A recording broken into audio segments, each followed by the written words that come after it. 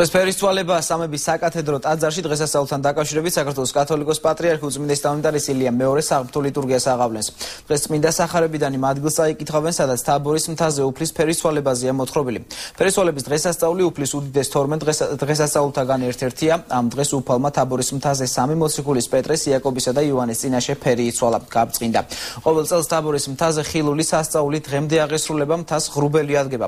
სამებაში იმყოფება ჩემი კოლეგა გვანცა პაპავაძე და ის ახლა პირ პირდაპირ ეთერში ისაუბრებს კვანცა მოგესალმებით.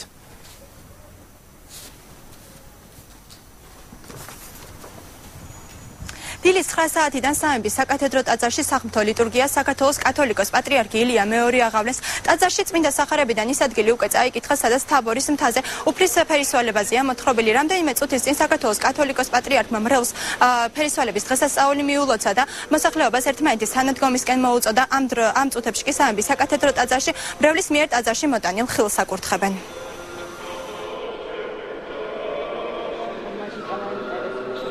როდესაც მოციქულები წმინდა პეტრე და ძმები იაკობი და იოანე ზებედეს ძენი მაცხოვნა თაბორის თაზე აიყვანა მაწინაშე ფერი იცვალა.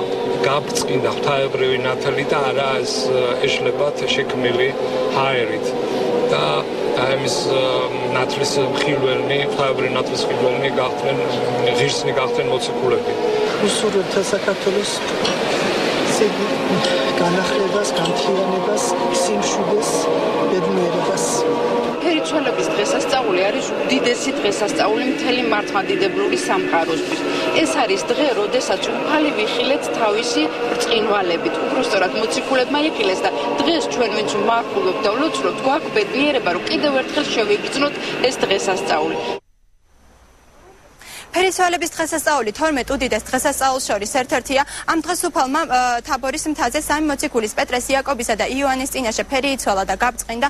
ყოველ წელს თაბორის მთაზე ხილული სასწაული დღემდე აღესრულება და მთას ღრუბელი ადგება. მე შეგახსენებთ, რომ სამების საკათედრო ტაძარში ქადაგება რამდენიმე წუთში დაიწყება.